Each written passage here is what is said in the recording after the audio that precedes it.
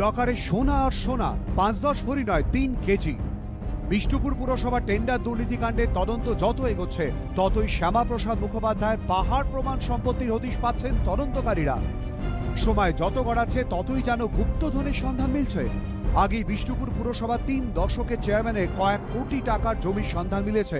এবার আরও সম্পদের খোঁজ মিলল। দিন কয়েক আগে গ্রেফতার হন প্রাক্তন মন্ত্রী ঘনিষ্ঠ হিসেবে পরিচিত রামশঙ্কর মহান্তি। শুক্রবার রামশঙ্করকে নিয়ে বিষ্ণুপুরের একটি রাষ্ট্রায়ত্ত ব্যাংকে যায় পুলিশ।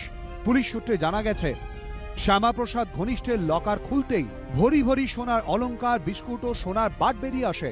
পুলিশের দাবি, রামশঙ্করের লকারে সব মিলিয়ে শ্যামাপ্রসাদের প্রায় তিন কেজি সোনা পাওয়া গেছে, যার বাজার দর প্রায় দেড় কোটি টাকা। লকারটি সিল করে দিয়েছে পুলিশ। আজকে যে দুর্নীতির দায়ে ওনাকে অভিযুক্ত করা হয়েছে। সেটা সবই তৃণমূলের আমলের।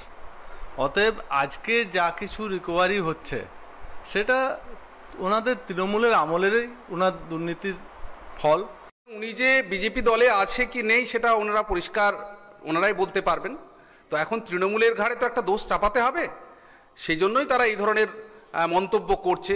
নিজেদেরকে যাতে বাঁচানো যায়, নিজেদেরকে যাতে পাশ কাটিয়ে বের হওয়া যায়। কীভাবে এত বিপুল পরিমাণ সোনা এলো প্রাক্তন মন্ত্রীর ঘনিষ্ঠের লকারে পুলিশ সূত্রে খবর, টেন্ডার দুর্নীতিকাণ্ডে শ্যামাপ্রসাদ গ্রেফতার হওয়ার পরে রামশঙ্কর প্রাক্তন মন্ত্রীর বাড়ি থেকে কয়েক কেজি সোনা নিজের লকারে জমা করেন। পুলিশের দাবি, জিজ্ঞাসাবাদে একথা স্বীকার করে নেন শ্যামাপ্রসাদ ঘনিষ্ঠ। বর্তমানে জেল হেফাজতে আছেন প্রাক্তন মন্ত্রী। প্রমাণ লোপাটে আর কারও লকারে কি সোনা সরিয়েছেন প্রাক্তন মন্ত্রী? তারই খোঁজ চলছে। তুহিন অধিকারী এবিপি আনন্দ, বাঁকুড়া। সত্য অন্তহীন।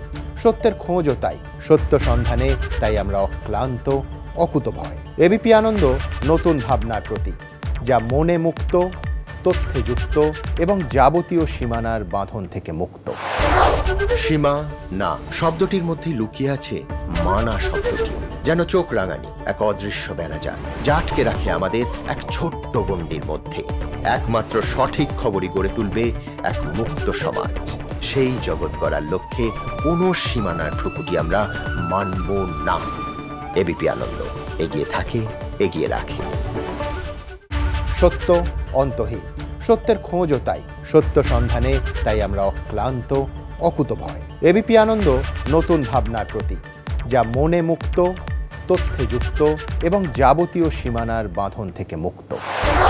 সীমা না শব্দটির মধ্যে লুকিয়ে আছে মানা শব্দটি, যেন চোখ রাঙানি, এক অদৃশ্য বেড়া যা আটকে রাখে আমাদের এক ছোট্ট গণ্ডির মধ্যে।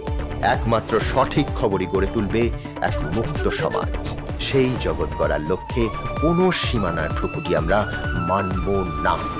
এবিপি আনন্দ, এগিয়ে থাকে, এগিয়ে রাখে।